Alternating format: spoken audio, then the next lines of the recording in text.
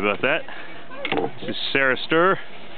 First run, first day slalom at from with a 40.23. Racer 3 with a 4023. Racer 5, Kelsey for Westchester's on start.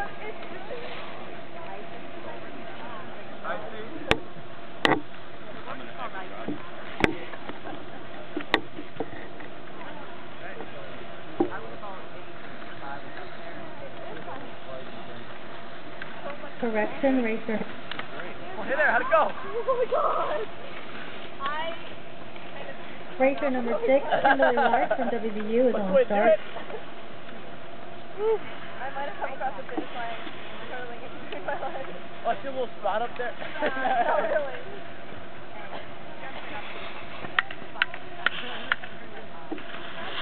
What you need? Racer number 3 was a 4023. Racer number 6, Kimberly Lark from WVU